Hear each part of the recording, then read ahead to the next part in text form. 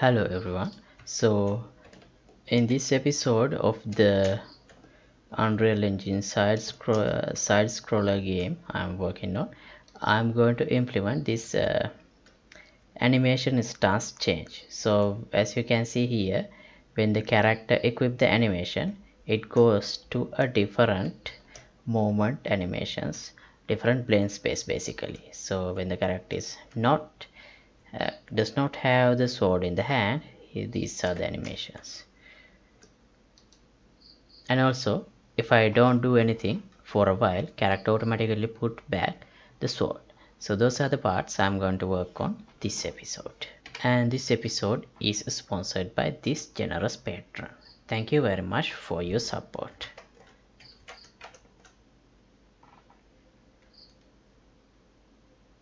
Right so so far the character can just equip the sword and that's it. It can't do anything else. So yeah. Today let's see how to change the blend space of the animation uh, blueprint uh, animation blueprint when the character equipped the sword. So first uh, let's go to our sword and shield folder and yeah just like the animation blend space we have here. Okay let's just duplicate this. That idle run to the sword let's open it. So instead of this one let's use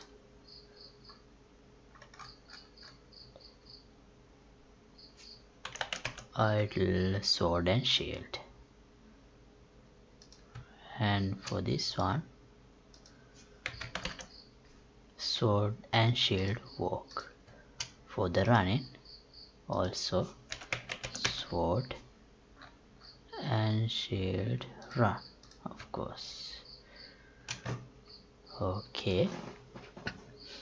Now uh, in here let's drag and drop this sword and shield. Animation blend space. For the speed I'll use the same variable. Mm -hmm.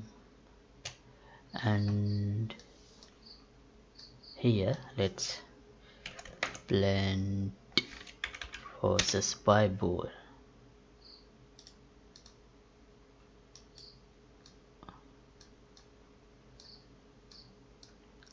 for the false pose let's attach the unarmed so unarmed uh, walk blend space. And for the true pose let's attach the armed blend space. So here I'll promote this to a variable let's call it um, weapon equipped.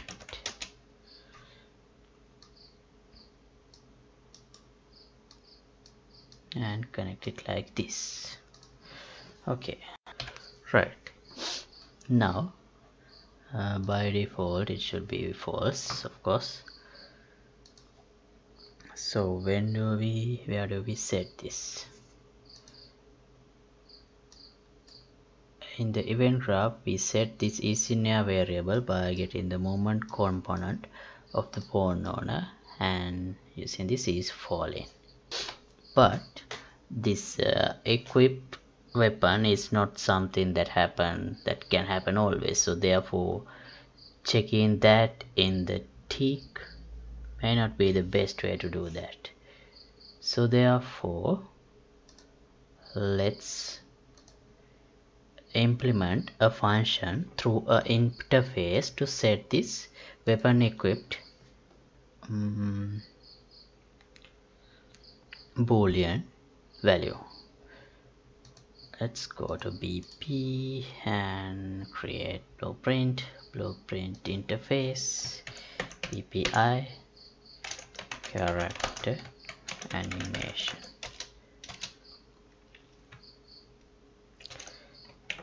uh, let's call it toggle melee weapon. And as the input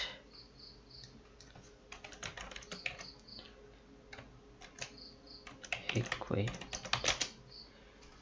Let's add weapon equipped.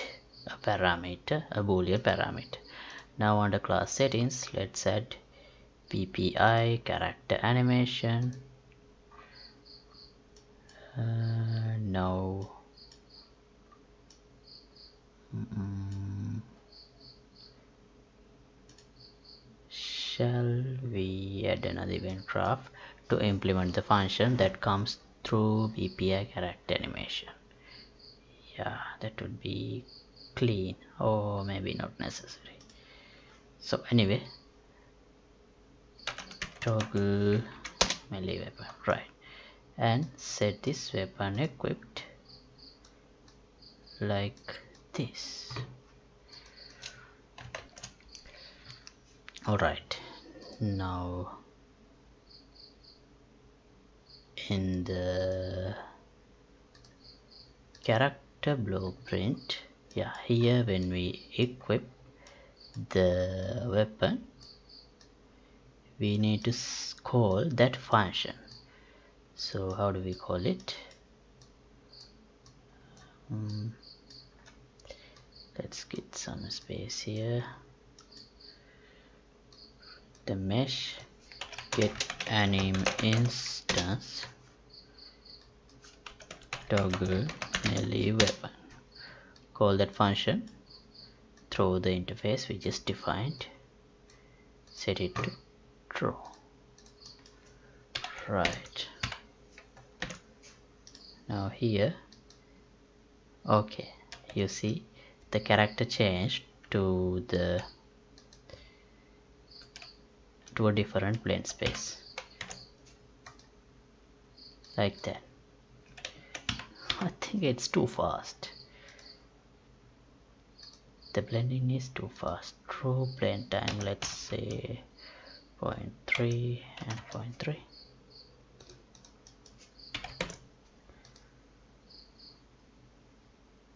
right.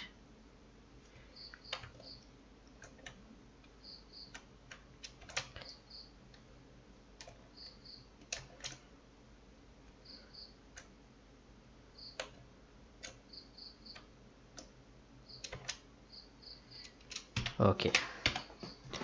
So let's implement another uh, another method to unequip or put back the weapon as well. Um how?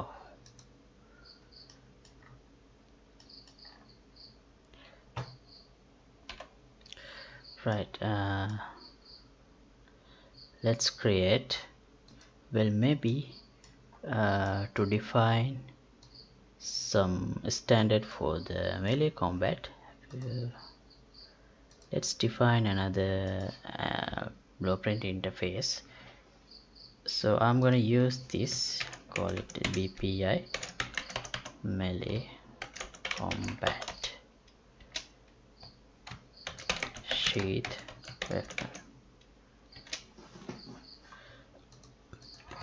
The reason to implement this is uh, later on we might need uh, to make the character sheath weapon uh, not from inside the character blueprint maybe uh, through some outside entity maybe like a door or some other character or something. So that's why just in case I implemented it using this uh, blueprint interface. So let's call sheath weapon. Oh no. First I'll implement BPI melee combat. Also uh, just in, in case that we need to call this from the animation blueprint also we can use this interface. So right. So just like here. Now instead of well basically we have to do the same thing uh, that we did to equip the sword. Yeah. So first we need to check if we have equipped the sword. Otherwise we can't put it back. So if it is true then yeah let's collapse this before it get bigger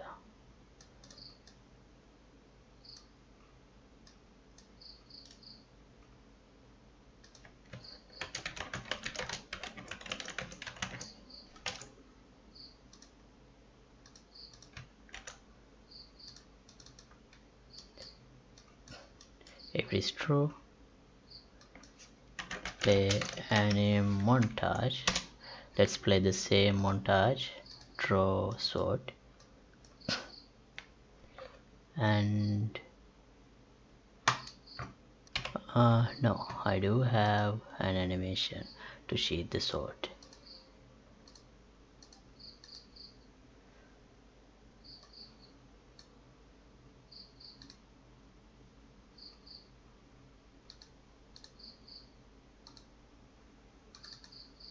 yeah this one. Okay. Let's create and a montage for this as well. Let's play that in the upper body.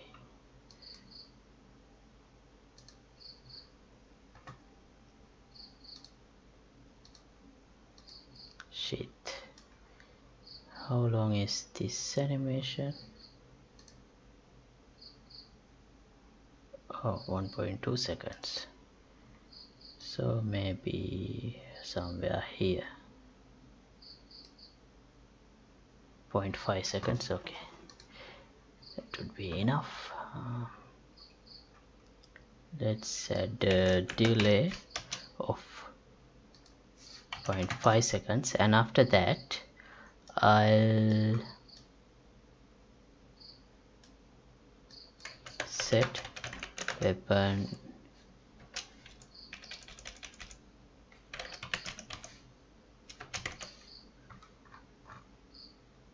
melee weapon equipped variable to false. And then let's get the mesh. Get anim instance. We need to uh, set the weapon equipped boolean in the animation blueprint as well. So we can use that interface function we defined earlier. Toggle melee weapon to false. And then attach this melee weapon back to the back to the thigh left socket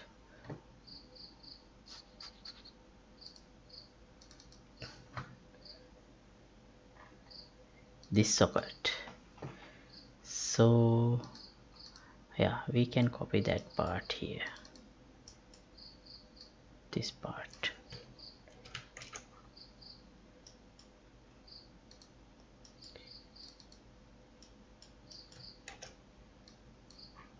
And this time uh, we should attach it to the thigh left socket. Let me copy that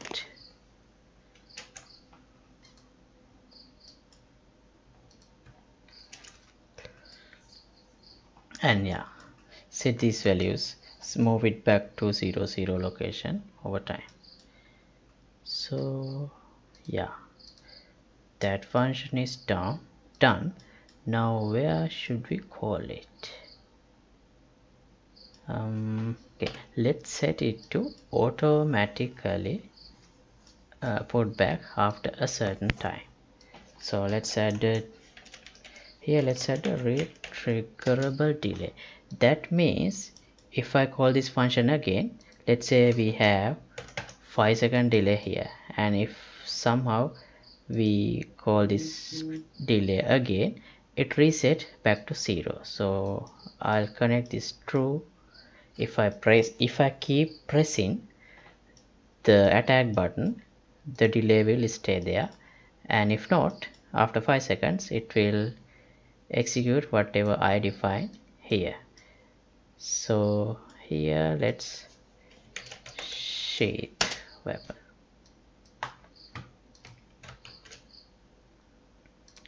Alright let's see. Equip the weapon. One two three four five. Put back. Uh, I think the sword didn't quite match the animation put in back part. Yeah.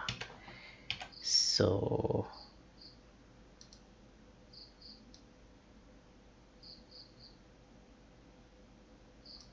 Point nine seconds. Okay. This is where we need to set the sword put him back. So right. Instead of 0.5 delay let's set a 0.99 delay that should look better.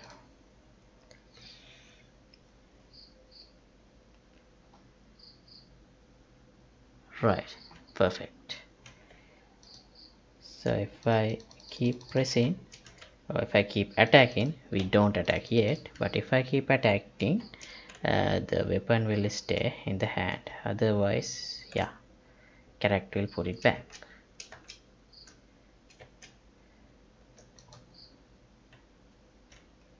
Oh we can't even see the weapon when the character is facing that way.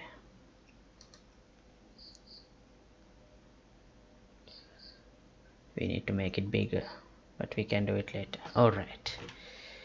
Okay so uh, let's stop this episode here.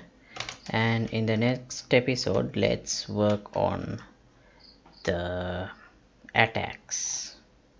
And after that to actually have a fight we need npc characters as well. So eventually i will do that part too right so as always project files will be available for download through the patreon page and if you like to support my work you can get the membership of the patreon club. So yeah see you in another episode. Goodbye